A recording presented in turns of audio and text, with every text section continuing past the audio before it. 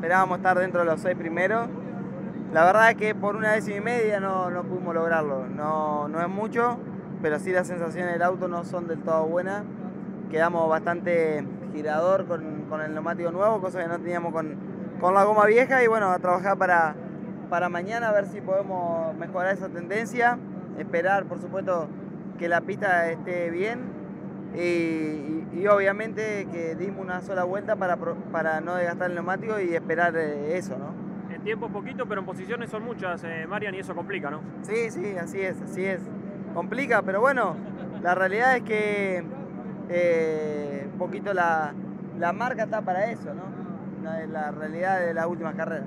¿En qué se piensa trabajar en el auto para poder mejorar esa tendencia? En general, en general vamos a buscar más grip, así que vamos a trabajar.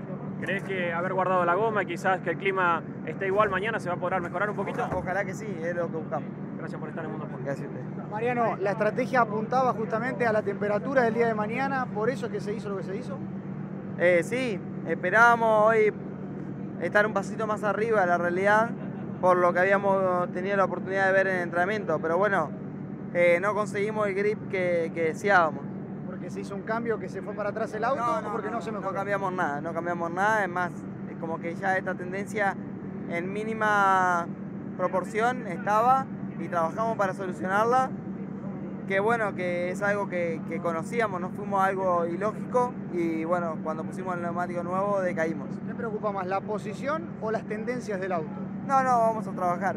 Hay que esperar, hay que correr.